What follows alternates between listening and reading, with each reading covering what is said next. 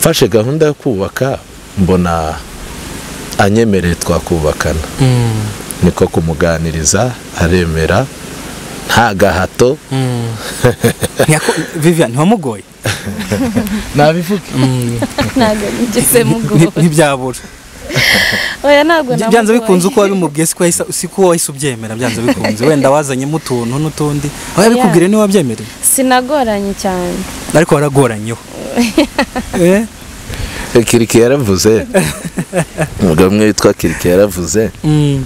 Eh, ubu ni umupapa. Eh, ubu ni umupapa. Mm. yaravuze ngo ngo yari akeneye umugore ngo ariko n'umugore yaramukeneye Eh, habaye gukenera. Habayemo gukenerana. Ntabwo yangoye. Ntabwo yangoye ndabishimira imana.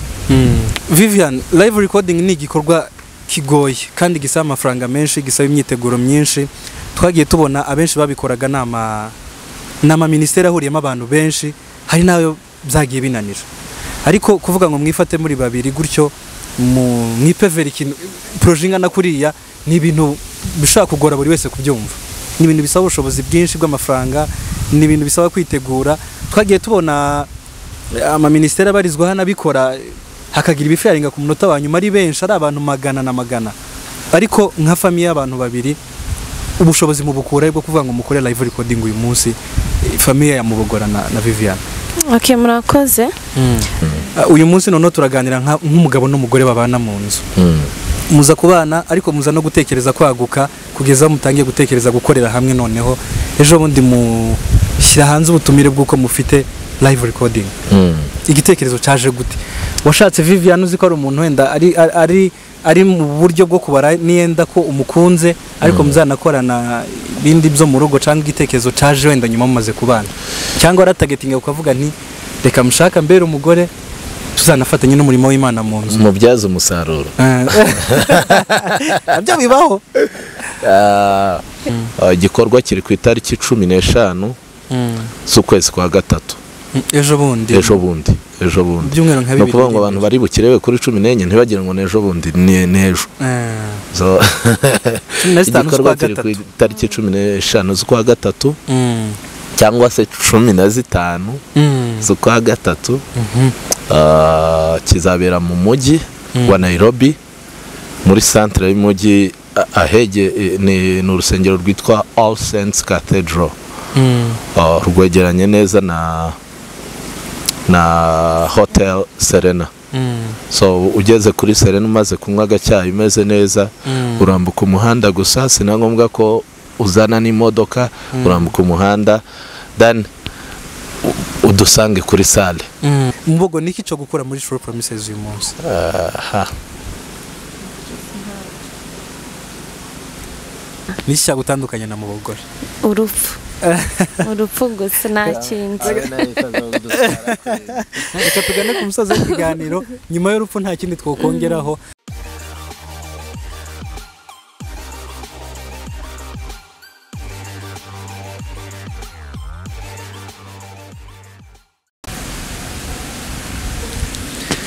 bakunzi ba umoja wetu tv ndetse na radio twongeye kubaha ikaze mu kiganiro cy'uyu munsi.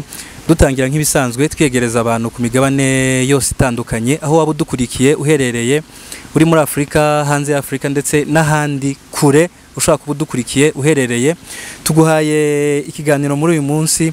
Ah, ndi kumwe n'abatumirwa nimwe muri couple zisanzwe zizwi waba wumva runo rurimi tuvuga biragoye ko eh, utabuzi bano bantu wenda nubwo utobamenya bombi ariko byanze bikunze ushobora kumenyamo umwe muri bo.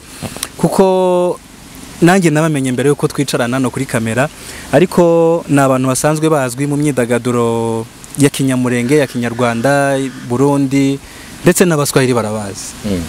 Baraza kutwibwira nk'ibisanzwe mu muco nta ntawuvuga umuruta. Turaza kwibwira hanyuma noneho twinjire mu kiganiro twese twamenyanye. Urakaze neza. Murakoze nitwa mubogora desire. Ya no mu muco? Eh, mu muco. Ntawe uvuga umuruta. Eh, bitangiye dufomora ariko nyine mm, nta kibazo. Mm. ya niyo mazina yanjye ndi umusinzira ndi umunyamurenge all. Hanyuma ndi umusinzira umuvunanka Ah, ndi umwishwa Mm. Murakoze. Ukaba uri n'umugabo. Ntabivuga Eh, murakoze. Mm. nanjye banyita kamikazi viviane. Mm. ndi umunyamurenge. Nkaba umurundi w'umuhiga. Ah, nkaba umwishwa w'abanyabyinshi Mm. ni umugabo wanjye. Mm. Yego. ni imwe muri couple zizwi cyane ku bintu bijyanye n'iyobokamana abantu benshi barabazi. Mubogora n'umwe mu bantu bazwi cyane i kigali. Cyane cyane tugiye mu gace k'i rwanda ni umuntu uzwi cyane wenda reka duherere aho ngaho abari muri kenya bo wenda si sinzi ko dushobora kuvuga ngo hari umuntu uri muri kenya utakuzi kuko ni ho ubarizwa. Ariko ni umuntu uzwi mu maworship team atandukanye abantu benshi bagiye bakumenyamo.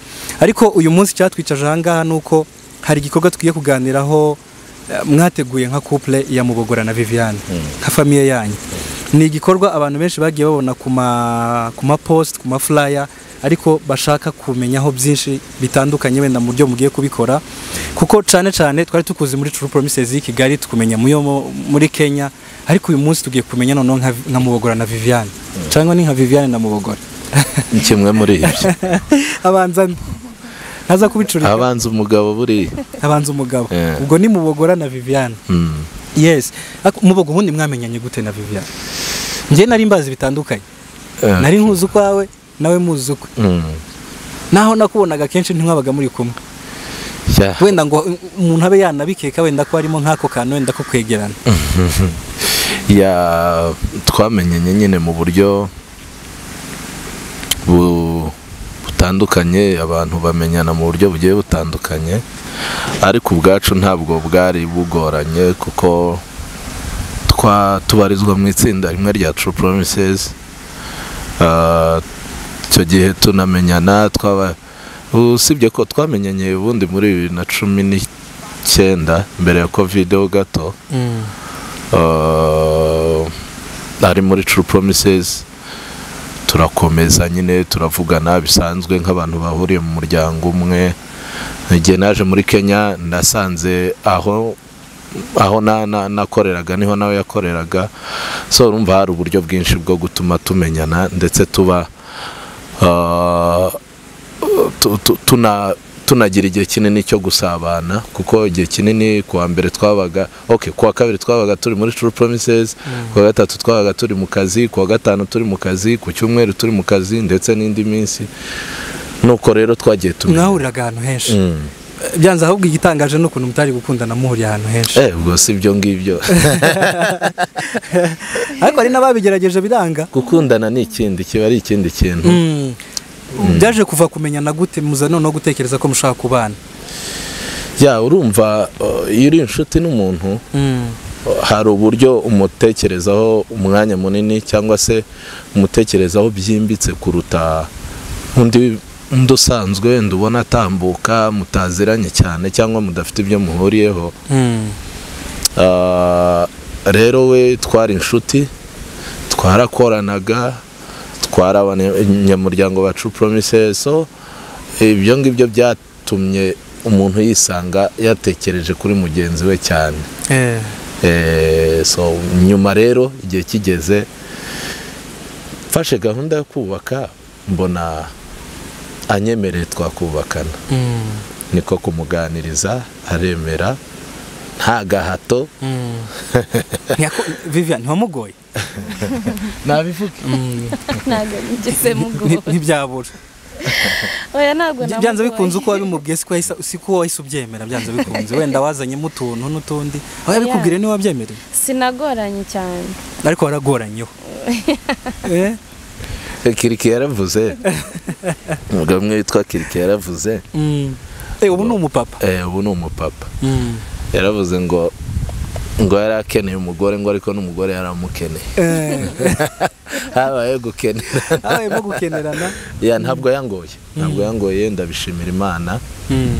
usibye ko n'abo bagoye baba bagomba gushimira imana ko iyo fayinali byakunze Mm. ah, biba ari byiza. Ariko ntabwo yangoye. Kuko nasanze nawe yumvaga byari bikwiriye. Mm. kandi nta yandi mananiza wenda nari mfite wenda kwigaho n'ibindi. So imana ibigira gutyo turabana Mm. ngayo nguko. Muza kubana murubakana abantu benshi babatahiye ubukwe abatarabutasha babikurikiranye kuri social media bisanzwe. Mm, Uh, uyu munsi noneho turaganira nk'umugabo n'umugore babana mu nzu. Mm, muza kubana ariko muza no gutekereza kwaguka kugeza mutangiye gutekereza gukorera hamwe noneho. Ejo bundi mushyira hanze ubutumire bw'uko mufite live recording. Mm. igitekerezo cyaje gute washatse Vivian uzi ko ari umuntu wenda ari ari ari mu buryo bwo kubara niyenda ko umukunze ariko muzanakorana ibindi byo mu rugo cyangwa igitekerezo cyaje wenda nyuma mumaze kubana. Cyangwa waratagetinga ukavuga nti reka mushaka mbere umugore tuzanafatanye n'umurimo w'Imana mu nzu. Mubyaze umusaruro. Eh, na byo bibaho. Ah, oya Mm. ntabwo twabanye ibyo tubiteganya gukorana muri ubu buryo kuko numvaga nzamushyigikira akaririmba. yari asanzwe aririmba numva birakwiriye ko ngomba kumushyigikira. Numvaga ari cyo nzashyira imbere cyane. Ah, nkumva iyo live recording nzayimutegurira ayikore. Kujya muri studio tuzagerageza gufatanya mbone atera imbere. Mm. ariko oh, igihe kigeze tubona birakwiriye ko tubijyanamo nta mpamvu wenda zo gusigara Mm. kuko ntabwo ndirimba nabi cyane ku buryo atakwemera ko dukorana. Uko biri kose ndagerageza. Yakwihangana tukaririmbana. Nubwo Yeah. ariko abakuzi barakuzi. Ah, so. Nyuma y'igihe rero tubona ko bikwiriye ko tubijyanamo Mm.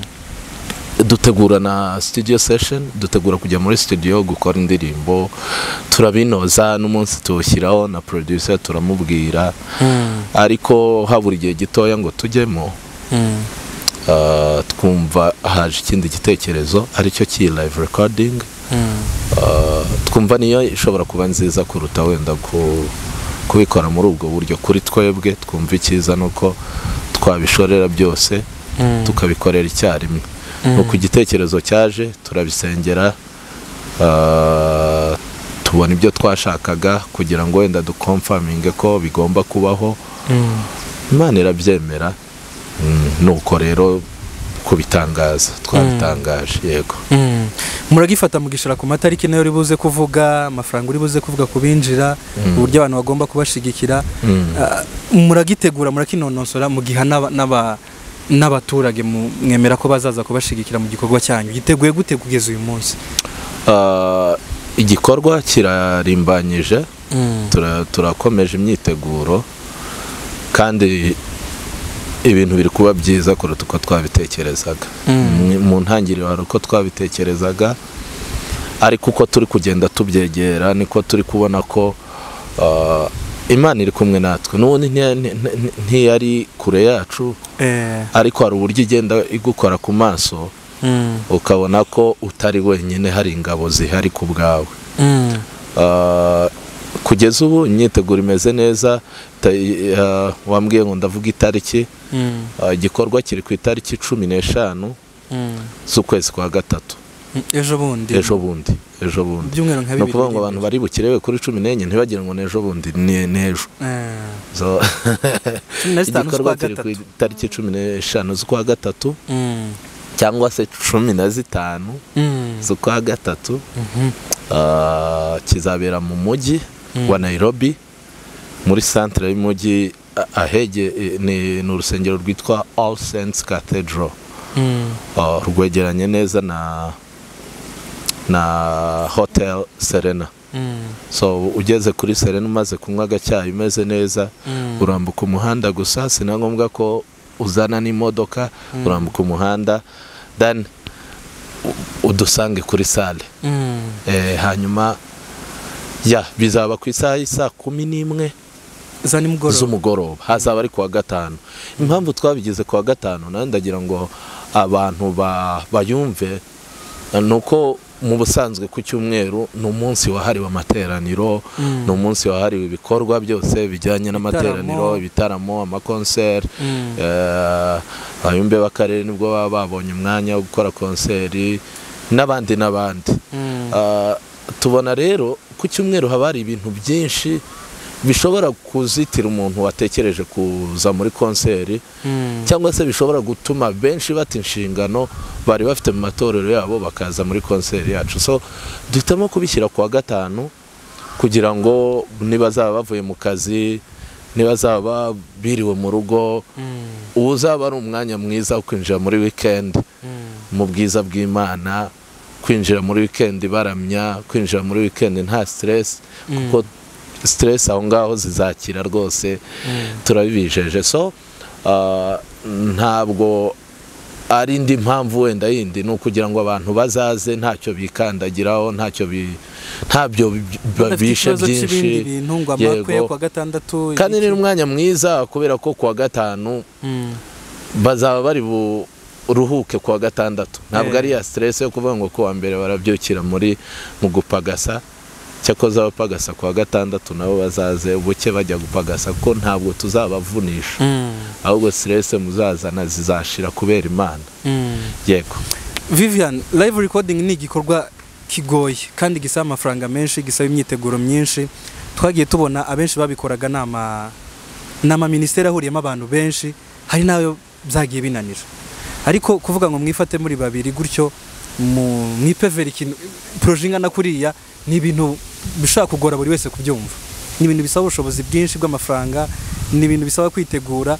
Twagiye tubona amaminisiteri abarizwa hano abikora hakagira ibifaringa ku munota wa nyuma ari benshi ari abantu magana na magana. Ariko nka famiye y'abantu babiri ubushobozi mu bukura bwo kuvuga ngo mukore live recording uyu munsi famiye ya Mubogora na, na Vivian ok murakoze. Eh, icyo navuga kuri icyo ngicyo eh, hari igihe umuntu aba yumva yishize hasi cyane ashaka gukora ikintu gikomeye cyane nk'icyo ngicyo kuko ni igikorwa cy'amafaranga menshi cyane pe ni menshi cyane ariko twasenze imana turayibaza imana iratwemerera. So ntabwo numva ko twabura ubwo bushobozi bwo gukora icyo gikorwa kandi imana yarabitwemereye kuzabikora. Rero du- du- tukaba twarashyizeho nyine kiriya gikorwa cya sapoti kugira ngo wenda abantu bazadusapotinge kuko ni ikintu kiremereye cyane. Niyo mpamvu twashyizeho ibiciro bya sapoti hari ibihumbi bibiri bya siponsa ubwo ni, itike yo kwinjira? Ya itike yo kwinjira. Mm. hakaba igihumbi cya vip na regular bazaba bahari badafite ubwo bushobozi bazipange gusa bazane iyo batege babike gusa tike yo kubategera kugira ngo baze muri icyo gikorwa. Ariko nabo bazi kugira ngo twese dufatanye kuramya imana no guhimbaza imana. Mm. so rero muri iyo sapoti yacu twe twari dufite n'iyo ngiyo tuzabona kuri abo bantu niyo mpamvu twatekereje gukora icyo kintu kuko ni ikintu kiremereye ariko tuzi ko twatekereje gukora ikintu cyiza cyiza nyine kiri imbere ku buryo kizakomeza ari ikintu kigaragarira abantu neza cyane. Niyo mpamvu twahisemo gukora ikintu nk'icyo kiremereye kirenze ubushobozi bwacu ariko kizakorwa Mm. Yeah. imyiteguro ku- giti cyanyu igeze wenda tuve ku ruhande rwa audience wenda bazabitabira kuko byanze bikunze abantu bazabitabira nta kuntu badashobora kubitabira Yeah. utashigikira igikorwa nk'iki ngiki sinibaza ko eh, sinzi sinzi ko reka tureke kubitekereza kubera ko tutabizi ko bishobora kuba bihari. Ariko imyiteguro yanyu noneho ku giti cyanyu nk'abantu muzapafominga igeze he muyigejeje he? Imyiteguro iramimbanyije cyane. Ama practice turayakora uko dushoboye kose. Ari abaririmbyi ababakazi abacuranzi tuzakorana nabo.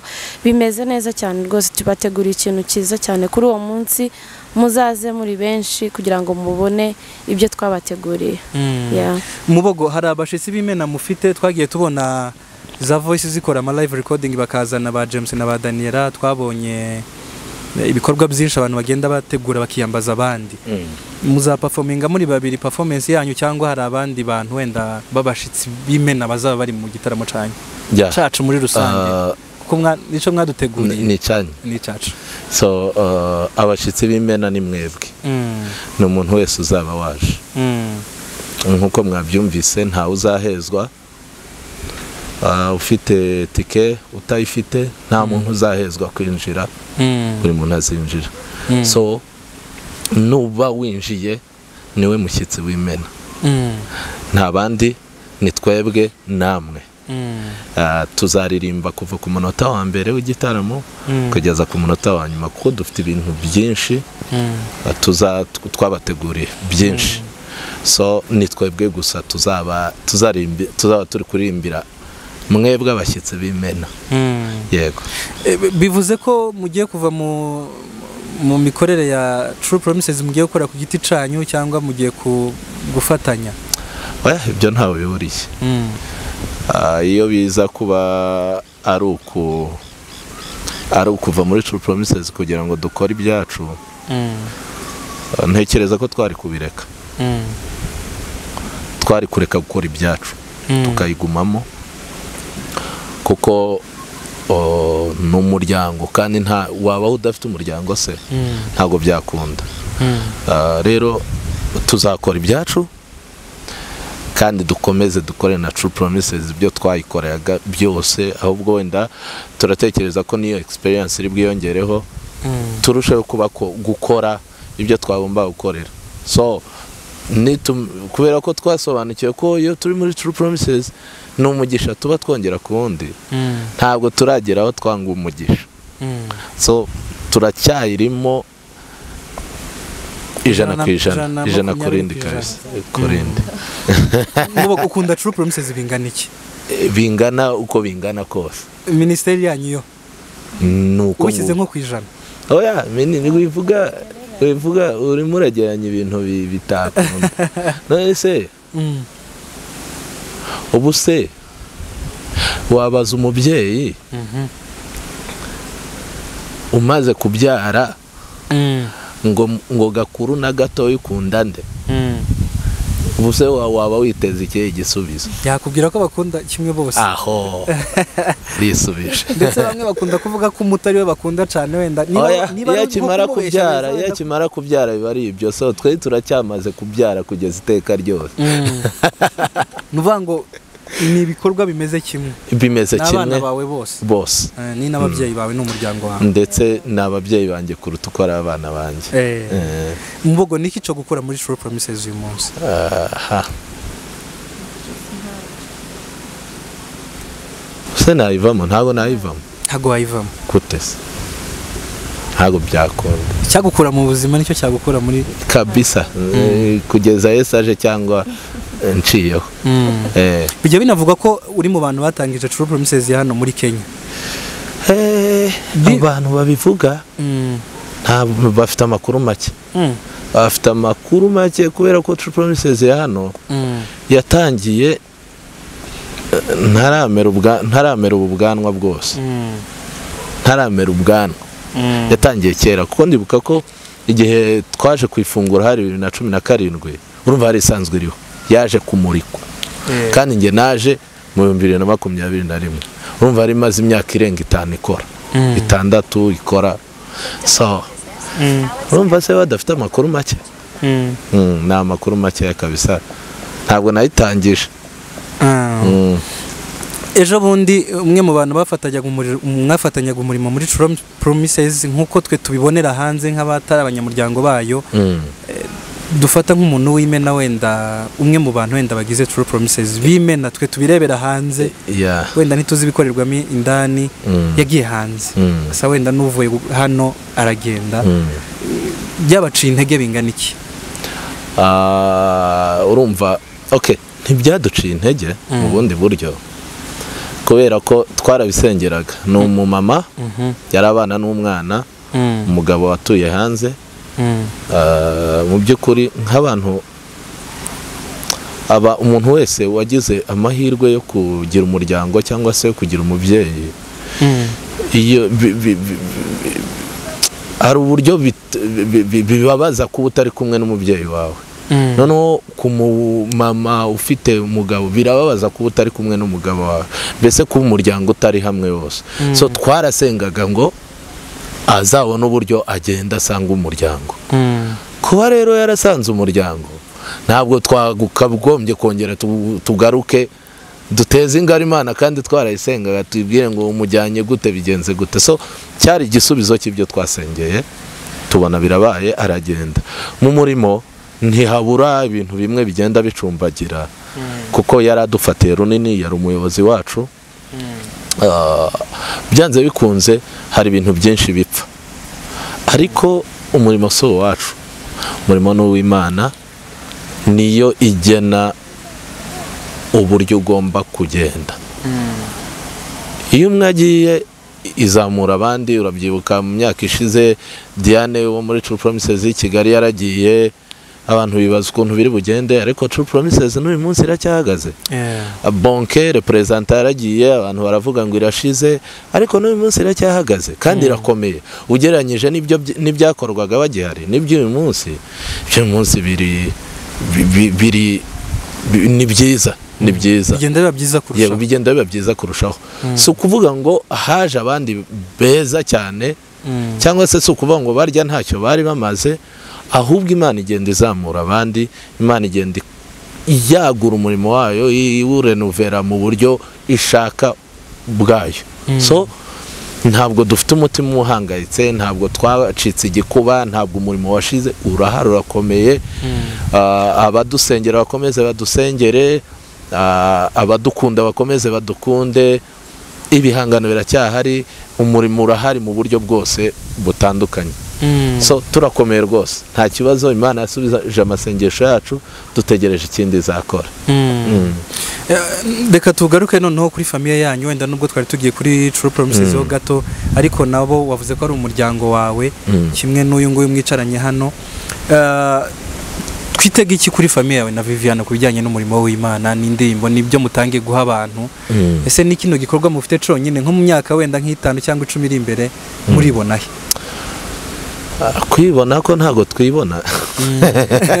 Muritekereza.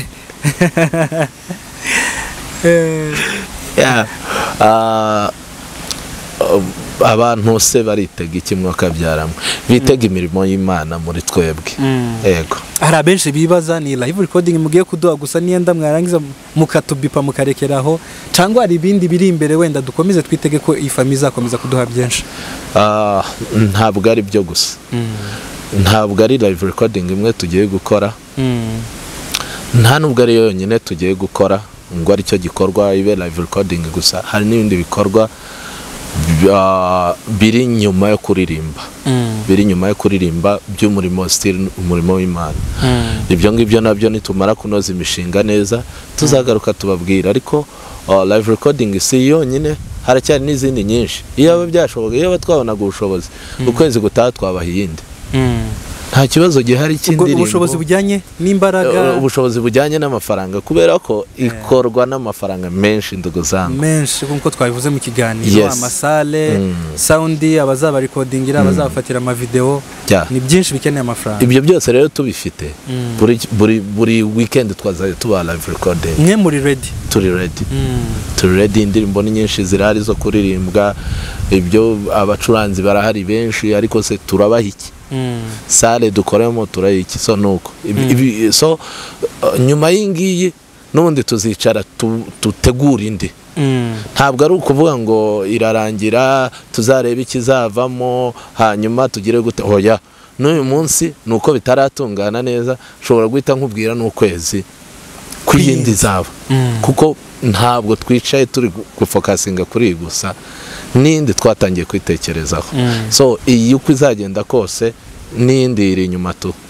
Tugiye gukora indahekana z'ama live recording Eh, Eh, mubogo hari umuntu ushaka kuba dukurikiye ari hanze? Mm, ya kenya wenda atazabona uburyo bwo kwitabira igitaramo cyanyu Mm. ariko ikiganiro kikamukoraho agashigikira umurimo w'imana. Yeah, akavuga ni numvisha umuhamagaro wa bene data mm, hari icyo nanjye numva wenda nukunganira mm. we yumvisha wenda nk'umutima umukomanga ko hari icyo yotanga hari uburyo mwabateganyirije wenda ko bashobora gutanga inkunga yabo? Ya burahari. Ah, hari n'abandi benshi ubu bamaze kutwereka ko turi kumwe. Mu by'ukuri bigitangira nk'uko yabivuze biba bigoye. Biba bigoye. Biba bigoye gutekereza miliyoni zingahe zirava hehe z'amashiringi. Zirava hehe biragenda bite? Biba bigoye. Iyo ureba ukabona nawe ubwawe nturihaza no mu rugo n'ibindi n'ibindi. Ah, ariko imana yagiye ihagurutsa abantu. Bamwe tuzi abandi tutazi ah, abandi tutatekerezaga ah, ba- bahagurukiye kudufasha. Ah, nawe niba wumva hari icyo wadufasha si ngombwa ko ngo uba uri hanze. Waba uri na- n'indani muri iki gihugu muri nairobi waba uri mu rwanda waba uri muri mozambique na centre africa. Si ngombwa ngo utange ari uko si wijuse ngombwa ngo utange tuyabone mu madolari. Ushobora no kuyatanga akaza ari ama ari amakwaca. Amakwaca urayazi? Nayo muri muri zimbabwe. Nangize ni amakongomani niyo bita amakwaca urashobora kuza ari amakwaca nta kibazo. Mm, Ah, twashyizeho nimero mm. Ndagira ngo uraza gushyiraho afishe bahite bayibona. Mm, iyo niyo nimero ishobora ku- kugufasha. Mm, mu gihe wenda hari icyo uronse mu gihe wenda hari icyo ubonye kibe gito cyangwa kibe kinini uko ubyita kose twebwe iyo kitugezeho kitugeraho ari kinini. Wagitanga ari gito kitugeraho cyaba kinini. Wagitanga ari kinini still kitugeraho cyaba kinini. Byose ni umugisha ni ukudufasha ah, ndetse n'ubwo ibyo byose bitaba. Mm, tituzaforoda mm.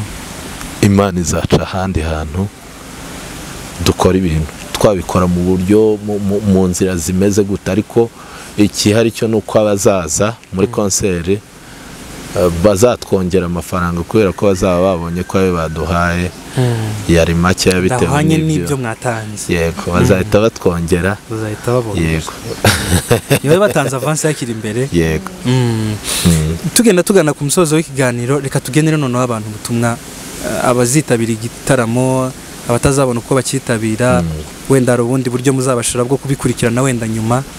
Eh, niki noneho ushaka kugenera abantu wenda bari hano hafi bazitabira igitaramo canyu ubutumwa bwa nyuma wenda ushaka kugenera abantu Ah, ubutumwa Mm. nshaka gutanga already kwemera ko bazaza bwo bazaza Mm. nuko twabwiye ko tuzabategura ibintu byiza twabibabwiye Mm. Ah, ndashaka kubabwira ko tuzaba turi kuririmba indirimbo twayise joyful hymns Mm. kuvuga ngo kubishyira mu kinyarwanda ni ibihimbano by'umwuka by'umunezero Mm. Mm, by'ibyishimo by'umunezero Ah, tuzaba tunezerewe tuzaba twishimye kuko uwakijijwe aho ava akagera akwiriye guhorana umunezero w'agakiza Mm. utarakijijwe uzaba muri twebwe. Twizeye ko hari icyo umwuka uzamwemeza ntatahe uko yaje. Mm. twizeye ko nawe azafatanya natwe kuririmba indirimbo z'umunezero nubwo azaza ntawe afite. Aho ngaho uzaba uhari. Uzaba uhari azanezerwa azishima azuzura umunezero w'imana. So uh, mugende mwitegura umunezero muri kiriya gitaramo w'imana udaturuka ku byuma udaturuka ku majwi no ku bindi ahubwo uri dipu mu mutima wa wundi imana yo wa wundi ugera ku muntu akarira ari umugabo Mm. so twiteguye kubona imana muri kiriya gikorwa irahari twiteguye ko izadukora ku maso tukabona imirimo yayo tukabona ubwiza bwayo Mm. Tugenda tugushimira ariko tugana ku musozo ndabaza Vivian akabazo ka- k'amatsiko. Kamwe sinzi wenda niba ari buze kugashobora ariko ntiyashobora kumunanira. Vivian. Yes. Dukunze kubona wenda muri sosiyete tubarizwamo si cyane ko umugabo n'umugore bategurana nk'ibi muri gutegura. Mm. ndetse abenshi twe twagiye tuganira njyewe ndabikubwira nk'umunyamakuru kubera ko nganira n'abantu benshi. Hari umugore ukubwira ko no kugira ngo yicarane n'umugabo baganire muri salo bigoye. Ariko mwebwe kuganira mu nzu kugera aho biva mu nzu bikajya mu itorero izo mbaraga uzikurahe ko nzi ko bijya binanira abagore benshi ni umugisha. Ni umugisha imana yampaye. Kuko umugabo wanjye ni inshuti yanjye cyane. Sinumva ko hari aho natinya wenda kumuganiriza icyo numva kindimo nshaka ku- kugaragaza. Sinumva ko hari icyo namuhisha. Ni inshuti yanjye rero ibyo bintu biranyorohera kuganira nawe cyane. Kubera ko ni inshuti yanjye cyane.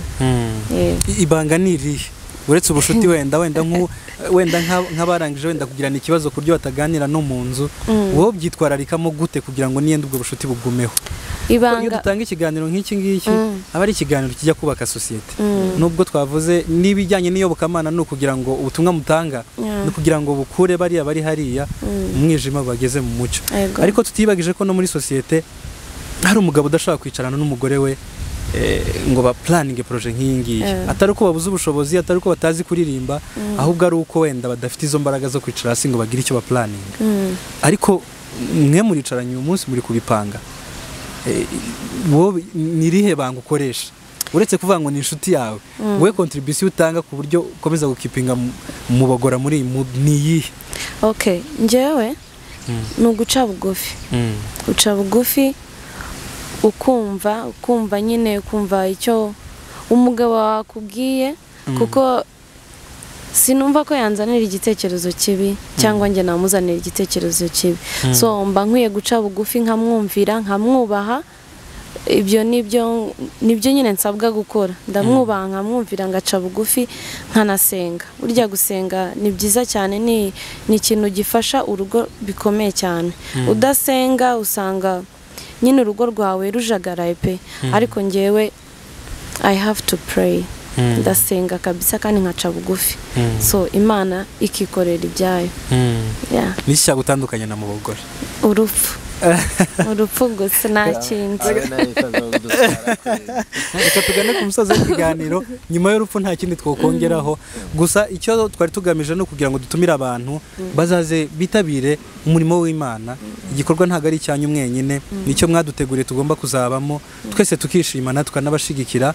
Ah, ubwo ku bantu bakeneye amatike bashobora kuyabonahe Oh, hari post twatanze hariho ya N'amanimero ya telefone eh. y'abantu. Hari abari hano kasarani hari abari kayore za kitengera.